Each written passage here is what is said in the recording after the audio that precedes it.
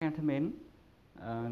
tiếp nối các chuyên đề đã được nghiên cứu trong chương trình luyện thi đại học. À, các em đã gặp rất nhiều ờ, bài toán liên quan đến tìm giá trị lớn nhất, giá trị nhỏ nhất của hàm số hay của một biểu thức. À, thực tế thì khi gặp phải bài toán này thì hầu hết các em có một tư tưởng là rất là sợ. Có lẽ bởi vì kiến thức của nó khá rộng, có thể vận dụng các kiến thức trong đại số như bất đẳng thức, cũng có thể vận dụng các kiến thức trong hình học, à, cũng có thể là chúng ta sử dụng tính chất khảo sát hàm trong giải tích. Ờ, chính sự đa dạng này ờ, cho nên đa phần học sinh khi gặp các bài toán liên quan đến tìm giá trị lớn nhất, nhỏ nhất của hàm số hay của biểu thức đều rất lo sợ ờ, và hầu hết là các em sẽ để lại không làm hoặc là có chăng thì cũng để lại sau cùng khi mà đã làm xong hết các phần khác thì mới có thể bắt tay vào nghiên cứu bài toán này. Qua quá trình nghiên cứu giảng dạy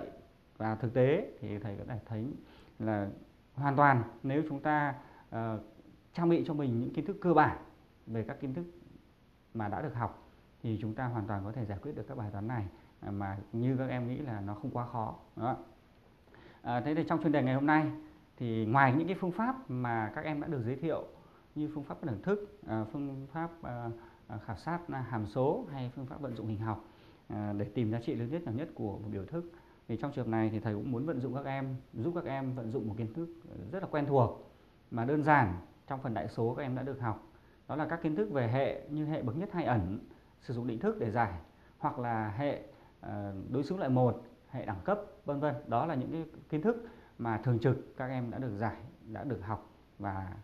đó cũng là kiến thức các em cảm thấy rất là thạo đúng không ạ? Thế thì uh, trong cái chuyên đề này thì thầy sẽ đưa, giúp các em là đưa một bài toán tìm giá trị lớn nhất nhỏ nhất của một biểu thức về việc giải một cái hệ phương trình thông thường tức là đi tìm một điều kiện của tham số để cho một cái hệ quen thuộc như là hệ đẳng cấp hệ đối xứng loại một hay là hệ bậc nhất hay ẩn à, có nghiệm. Với bài tập đó thì chắc chắn là các em sẽ giải quyết được đúng không ạ? À, do vậy là với phương pháp này thì thầy mong mong muốn là sẽ cung cấp thêm công cụ để giúp các em bình tĩnh tự tin và giải quyết tốt các bài toán về tìm giá trị lớn nhất nhỏ nhất mà các em gặp phải trong đề thi. Chúc các em thành công.